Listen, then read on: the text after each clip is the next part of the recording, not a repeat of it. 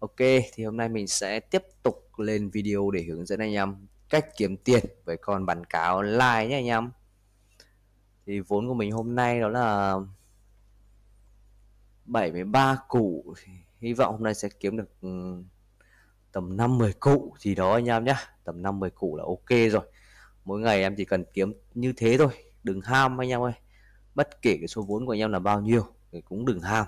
Đấy là một cái lời khuyên của tôi dành cho anh em khi mà chơi con bắn cá anh em nhé và bất kỳ con game nào thì nó cũng như vậy thôi. Mình đừng ham quá anh em ạ. Đừng ham quá. Ok sẽ bắn ở mức 30k nha anh em. Đừng ham quá anh em nhé. Cứ từ từ. Kiểu mình kiên trì một tí là được anh em. Chứ đừng nên tham quá. Cái gì mà nhanh quá thì nó cũng dễ mất thôi anh em ạ. Cái gì mà đến nhanh với mình nhanh ấy, thì nó cũng dễ mất thôi dễ đến và dễ đi thôi anh em ơi. Cho nên ta cứ kiểu kiên trì, ok. Đấy, thì nãy giờ vào tí là ba củ đây anh em. Đấy, vào tí là ba củ rồi. Đấy, mấy thanh niên này tiền thì ít. Mấy thanh niên này tiền thì ít mà cứ kiểu mày ảo tưởng sức mạnh anh em. Kiểu tham anh em ơi. Tham quá mà. Vào bốn năm củ, vào em bắn tay bốn năm mươi k thì không chết mới lạ ấy. ok, tôi sẽ bình tĩnh thôi. Tôi đang ăn mà anh em tôi bình tĩnh thôi anh em ạ. Không phải gấp. Tôi chỉ săn mấy loại cá to này thôi. Mấy con cá nhỏ và con rồng thì tôi không thích rồi. Nó rất là lâu, nổ rất là lâu anh em ạ. Tiền thì cũng không được bao nhiêu mà nổ cá ngày không nổ thì chết. Bỏ ngay con cá chép anh em nhé khi mà mà cảm thấy nó không thể nổ được thì ta bỏ ngay đi. Đấy, không bị cuốn theo con cá anh em nhé đấy, cứ đổi mục tiêu khác thôi bởi vì cá nhiều mà anh em, có phải một hai con đâu mà anh em sợ. Anh em phải, con nào anh em phải cũng bắn đâu. Chọn lọc mà chơi thôi anh em ạ. Cứ chọn lọc mà chơi, không phải gấp gáp gì hết. Không ăn con này thì ăn con khác, con cá sấu này đi xuống nên tôi sẽ không chơi nhá. Tôi sẽ bỏ qua. Ok, ba cụ nhẹ nhàng. Đấy, những con cá mà đi bên góc xuống thế này ấy, ví dụ con rồng này, tôi cũng không chơi này. Đấy năm củ đấy nha anh em. Đã năm củ rồi nha. Ok. 80 củ 7 củ, chốt lại 7 củ anh em đấy, vừa vào tôi nghĩ nãy giờ thì tôi vào cũng đâu đó tầm bao nhiêu anh em nhỉ? Tầm 5 phút à? Chưa đến 5 phút đâu nhỉ? Chắc hai, ba phút chỉ đấy thôi. Thì đã hút được ừ, 5 củ rồi. Bây giờ sẽ à có đâu? 7 củ chứ. 73 củ, hiện tại là 81 củ là tôi đã bú được 7 củ anh em nhé. Tôi đã bú được 7 củ rồi. Thì bây giờ tôi sẽ chơi từ từ thôi. Xem thử nếu mà may mắn thì kiếm thêm một ít, mà nếu không thì thôi, tôi sẽ nghỉ anh em ạ. Ok. Tầm này thì không vội nữa đâu anh em ơi, bởi vì mục tiêu của tôi là từ 5 đến 10 củ mà. Bây giờ đã 8 củ rồi. Mà bây giờ ví dụ anh em đang ăn đấy mà anh em cứ lan man anh em muốn thêm ấy, thì rất là dễ mất anh em ạ. Mà khi mà anh em mất thì rất là nóng mặt anh em. Khi mà đã nóng mặt lên thì không biết điều gì sẽ xảy ra. Đấy.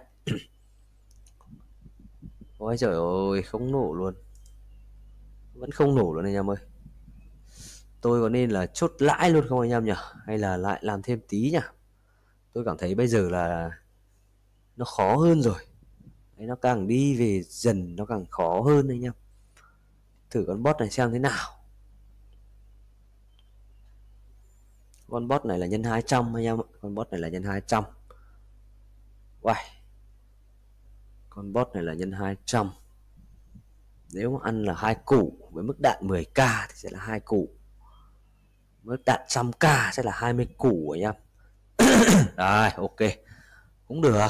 Khá ok anh em ơi đây thì anh em có thể vào loài cá. Nó sẽ hiện cho anh em cái bách khoa loài cá. Ai thì tôi có một cái lời khuyên để cho anh em khi săn cá anh em nhé. Thì con ưu tiên nhất ấy, đó là con bot này. Và khi nào mà con bot mà nó có hai ba người bắn cùng ấy, thì mình phải châm vào anh em ạ. Còn khi nào bắn một mình thì mình có thể lưu ý cái vấn đề đó. Có thể bắn cũng được mà không bắn cũng được vì bắn một mình là cái xác suất mà mình đạt đấy mình được ấy là một trăm phần trăm. Tuy nhiên là rất là khó nha. có nghĩa là nếu mình bắn một mình là không có ai giành với mình rồi đúng chưa? Đấy, thì có nghĩa là nếu mà nó nổ thì là ló đạc của mình rồi.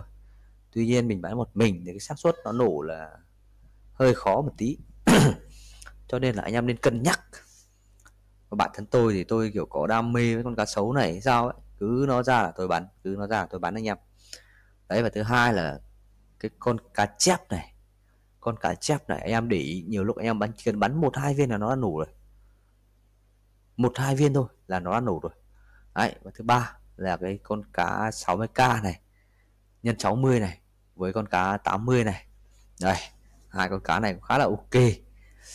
Và cái con đây, con 45k này, nhân 45 này, cũng tạm được anh em. Còn đối với con chồng ấy, thì thật sự mà để ăn được một con rồng này thì rất là khó anh em. Bởi vì sao? Có nghĩa là khi mà bạn ăn được cái con rồng này là toàn bộ cá trên màn hình nó sẽ nổ luôn anh em. Khi bán được con rồng này ấy, thì những con cá xung quanh nó đều bị bắt. Có nghĩa là nó đều nổ hết là nó thuộc về cái thằng mà ăn được. Thì có thể là ba bốn thằng nó giành nhau á thì cái thằng mà bắn đúng cái viên đạn cuối cùng để con cá nó nổ con rồng nó nổ á thì thằng đó sẽ ăn hết toàn bộ tất cả trên cái màn hình luôn. Đấy. Một mẹ bắt hết. Đấy, một mẹ bắt hết này thì thỉnh thoảng nó ra anh em. Thỉnh thoảng nó ra. Thì khi mà anh em bắn đúng con cá này, thì có nghĩa là tất cả những cái con cá mà đều mang cái ký hiệu này, ký hiệu vòng vòng này, để tôi xem xem có có không.